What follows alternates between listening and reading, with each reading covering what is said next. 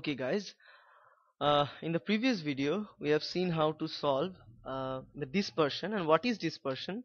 And from the dispersion we, we have calculated uh, the deviation or stand standard deviation. Now there is another deviation. Is called the absolute deviation. We'll be talking it later.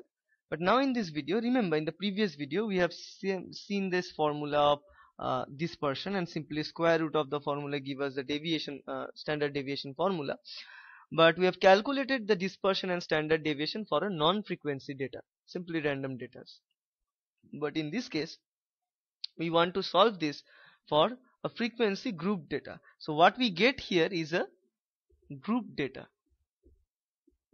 Now I have already told you that group data are most difficult to deal with. So we need to be very careful to handle these group data in this case.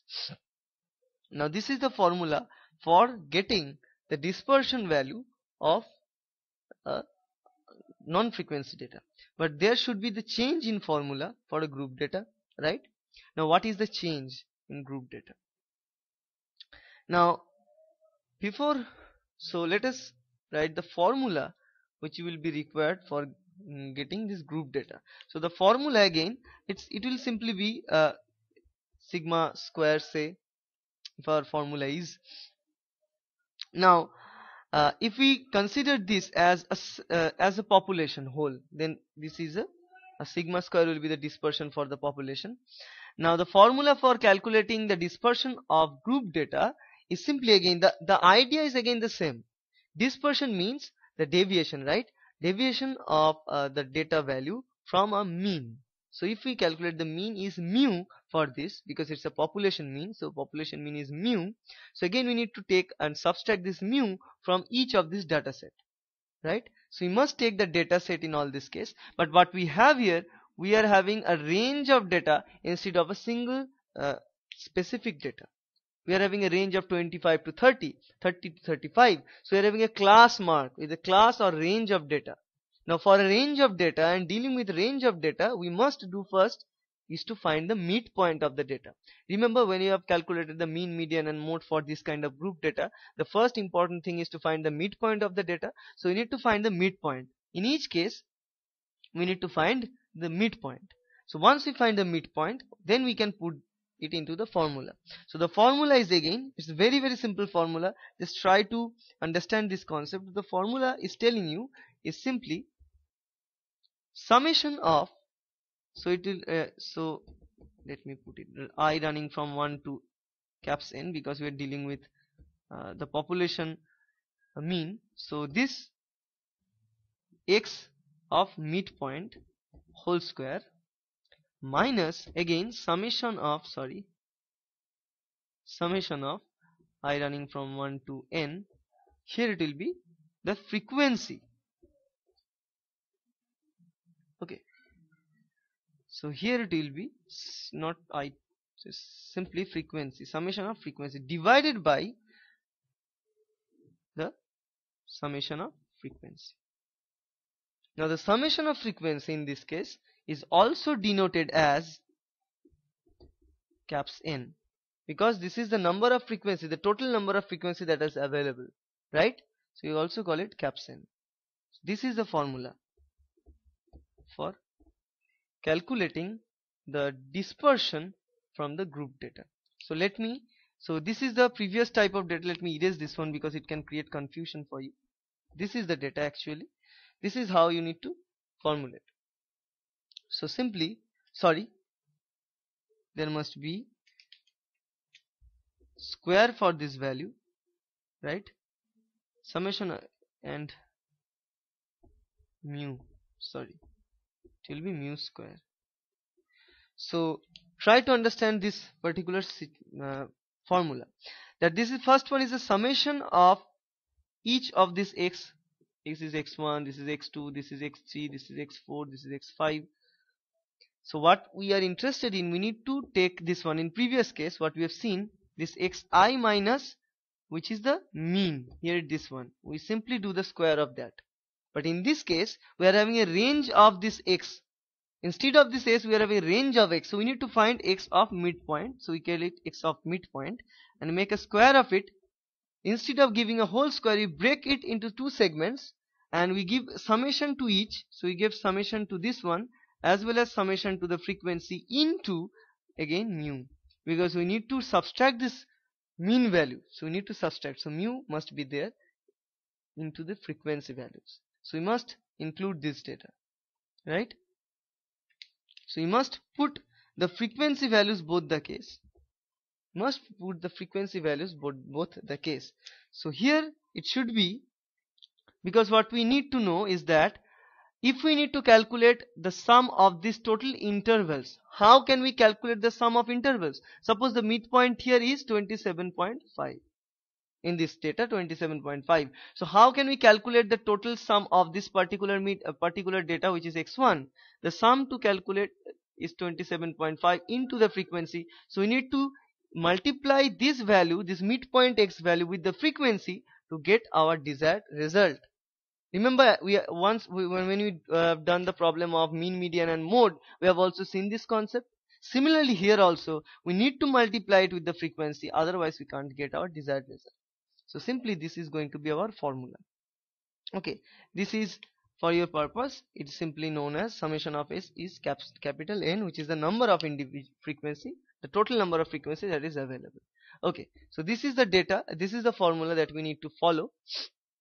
So one important part of all i also i always encourage student to view it in this way that don't try to mug up this formula. Instead try to understand the concept from where dispersion comes in we need to subtract the mean value from each of the data points. So we need to do this. Once you memorize this particular part once you get this concept this formula automatically comes in your mind.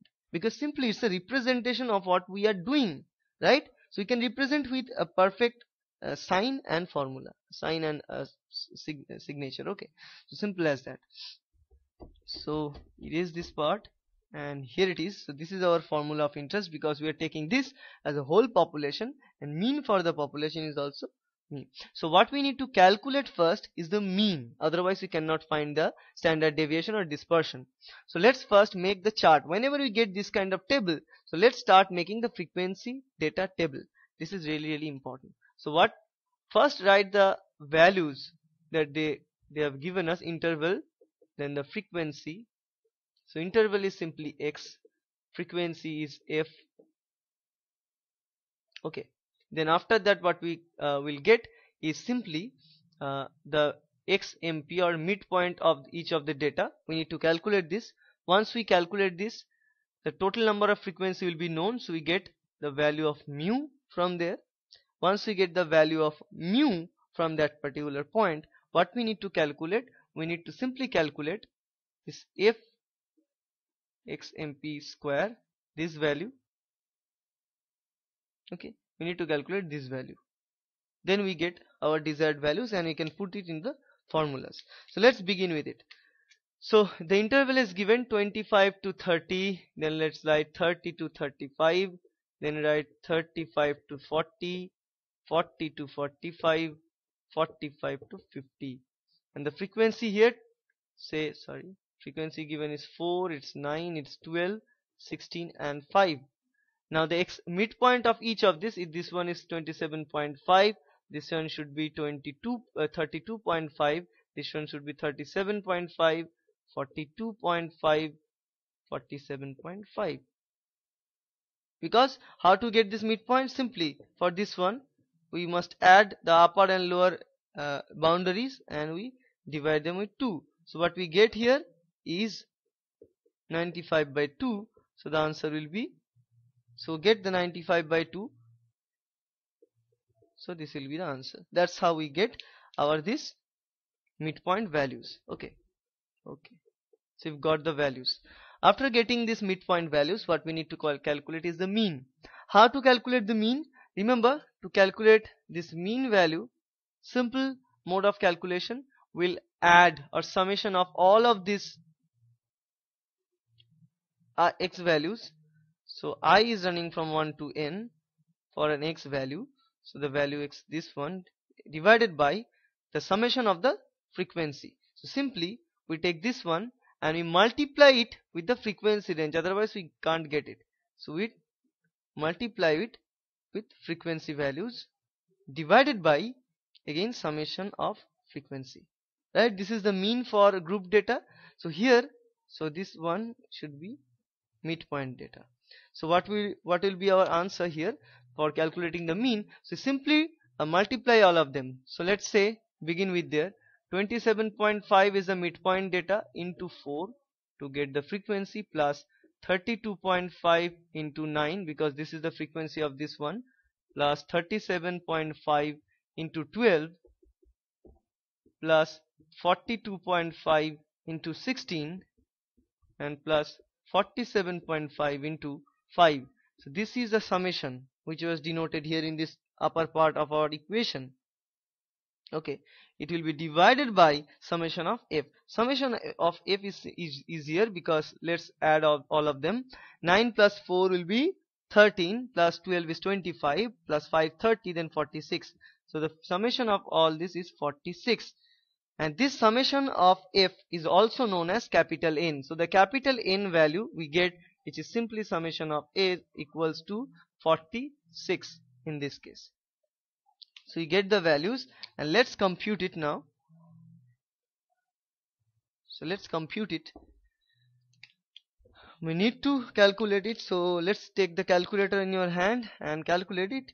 27.5 into 4 plus 32.5 into 9 plus 37.5 into 12 plus 42.5 into 16 plus 47.5 sorry made a mistake.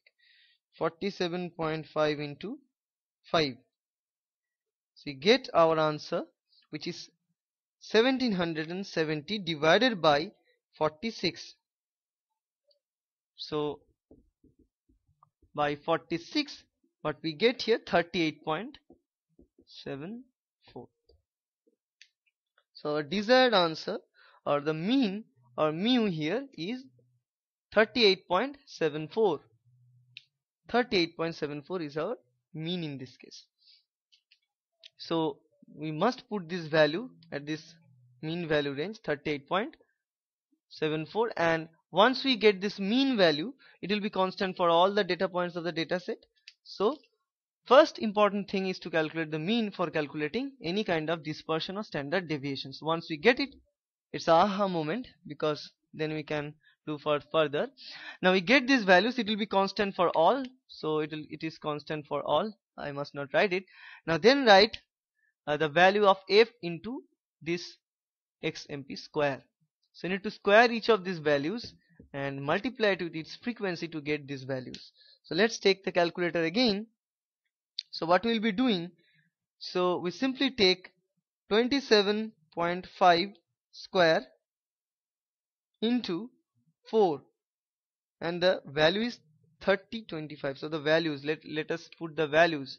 So this one is 3025 now the next one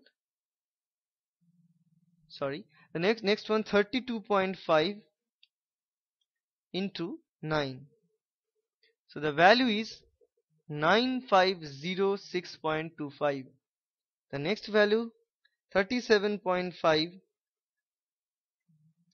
into 12 the value is 16875 then 42.5 into 16 the value is more 28900 then here 47.5 into 5 it is giving us 11281.25 okay. Simply this is the value that we are getting. So these are the values of this. Now once we get all the values in our frequency data table we can put it to this formula to finally get our desired answer. Right? So square equals to summation of all of this data that we simply get from here. So simply add all these datas.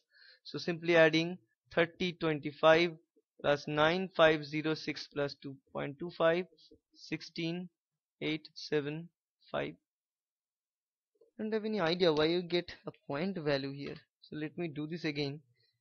32.5 9 yeah it is correct. Anyways. So plus 28900 plus 11281.25 this is all divided by so this is the whole thing. It will be uh, so minus again summation of frequency into this mu square. So once we make this frequency summation of frequency or simply you can call it caps n into mu square we need to find this value also because we need to put it here. So the value for that the n is 46 into mu square is 38.74 and we need to make this value also. So the value for this is again 38.74 we get the value into 46 value is 69036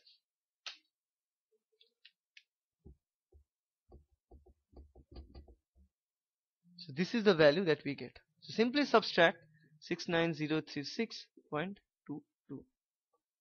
from here. And we divide this whole set with 46 because simply summation of f or or caps n whatever. Simply divide it with this value. So then we need to calculate this value. So I'll take a pause uh, in a moment and will tell you the actual result okay so resume this video again. So what we get by adding all these things and subtracting this part is 551.28 and we'll be dividing it with this n value which is 46 which is previously uh, calculated. Now dividing this will give us 11.984 so it is giving us 11.984 or approximately 12 so this is the value that they are giving us. So the dispersion value for this data frequency set is 12 so once we get this dispersion value we must calculate the standard deviation and to calculate the standard deviation we must square root this. So square root of this value give, will give us the actual value of our interest will give us the standard deviation to square root of the answer is 3.461 so it is giving us so this one 3.461 is the standard deviation of this group frequency data. So that's how we calculate the standard deviation of group data. Now, if we consider this as a whole population, then you must take the caps n and also the mu value as a population mean. But if you take it as a sample data, then you put small n here and the formula becomes instead of caps n it, it becomes simply small n minus 1 remember and also in case of the mu we'll put simply x bar because x bar is a sample mean okay so simple this is the difference. Okay so this is how we calculate the dispersion and deviation for group data. And i hope it will help you. Thank you